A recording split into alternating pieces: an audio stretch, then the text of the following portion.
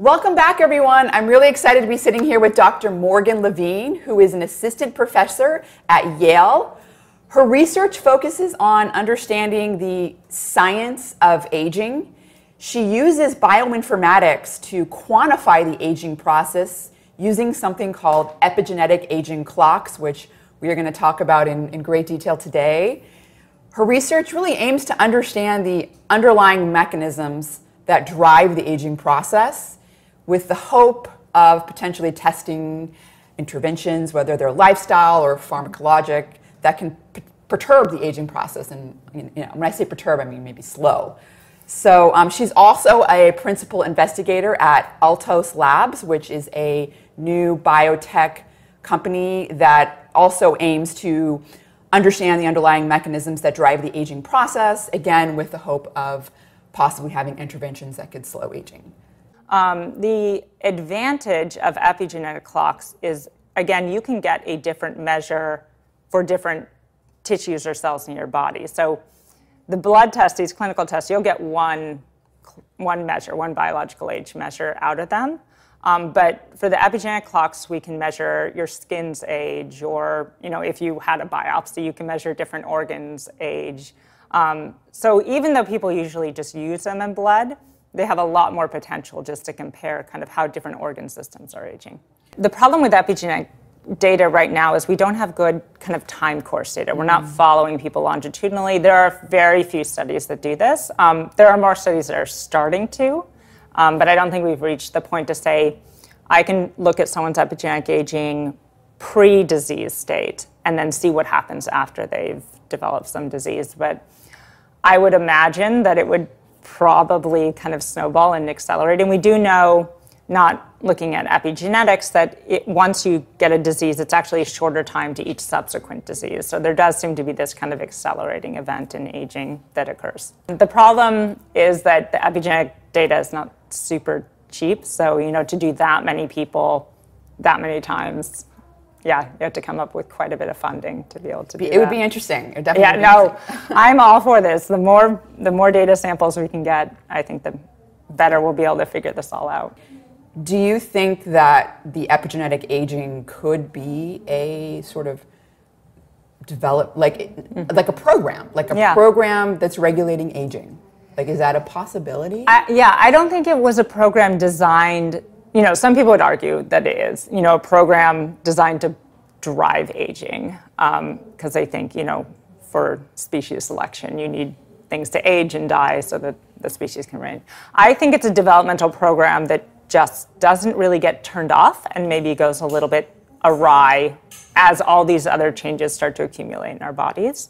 Um, but yes, the epigenetic clocks are really tracking something very central to development because most of these changes we can see during development and a lot of the genes that seem to be involved are these developmental genes. Um, we're still, again, not sure what this means or what this program actually is, but it, it, it definitely is tied to development. But people would also argue that aging is very tied to development. Yeah, I think definitely when we measure aging in blood, we have to think, you know, what is you know, probably driving these, these signals that we see. And I, I would guess that epigenetic age acceleration in blood is mostly reflective of inflammation, unless, again, you're developing a clock that's specifically tuned to some other thing. Although inflammation seems so you know, vast and systemic. It, it affects so many different things.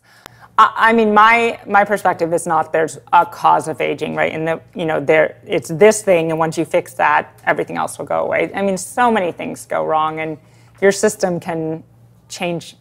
It can diverge in some. Going back to kind of Mike Snyder saying, even if you bring that down to the molecular level, there's so many different ways that someone's system can kind of change over time, and I don't think it's like you just need to it's just this one thing that's going to then drive all of aging. Um, yeah, we still don't know exactly what the CPGs that are in these clocks are functionally doing. Um, even though we say, oh, I, I actually said it in the beginning of this talk, when you have methylation, it's repressive.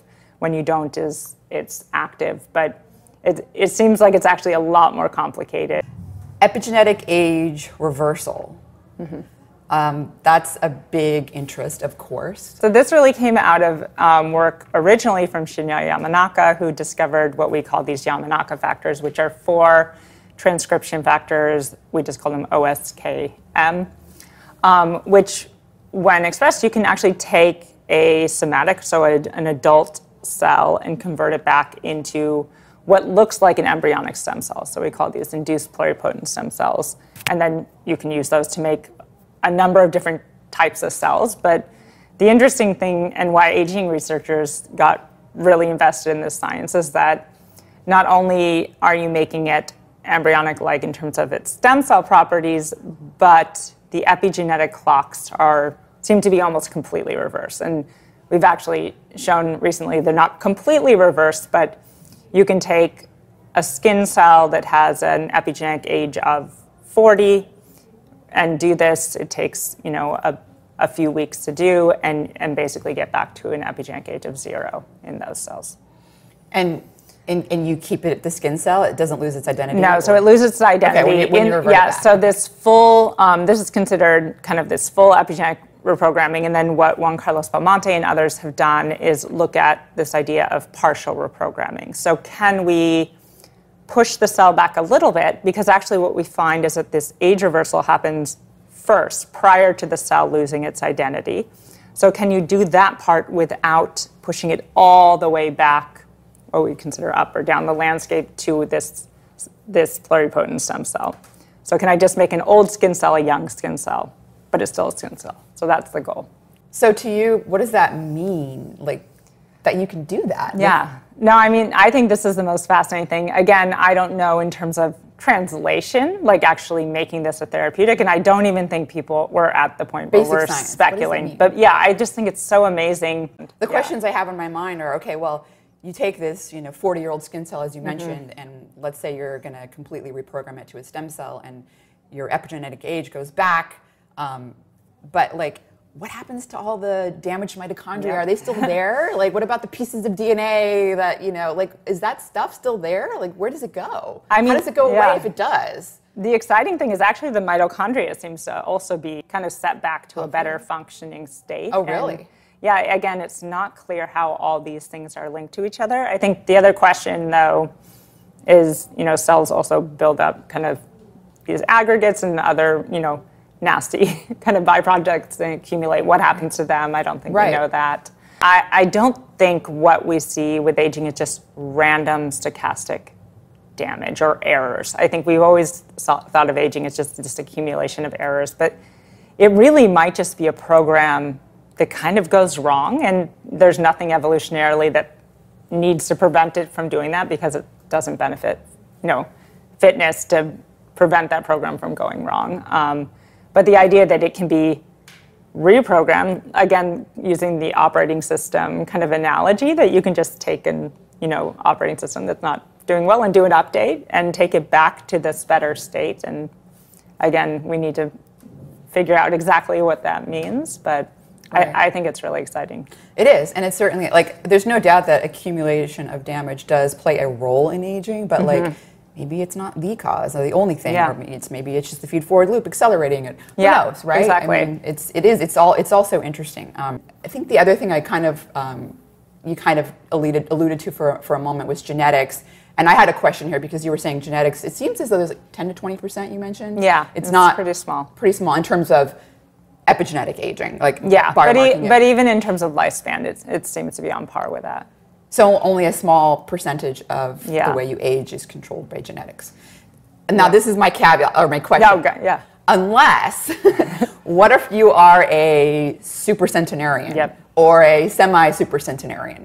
Like, there's obviously you're an outlier, right? Mm-hmm. Like that's. Yeah. that's an outlier, but it exists and it's thought to be under genetic control. I think. Yeah. You know. Yeah, so they're probably not just randomly making it to that. So so for most of us our aging is going to be less under genetic control. But if you there are definitely people you might think win the genetic lottery, right? So they're very unique and they have the perfect combination. It's probably not one gene. They just have the perfect combination of different gene variants and that somehow enables them to live much longer than the rest of us. It seems even despite having bad health behaviors. So these super centenarians don't necessarily smoke less or eat better or exercise more than people in the general public, but they're somehow able to overcome that and survive to extreme ages. And they, they probably are more, that's probably more under genetic control.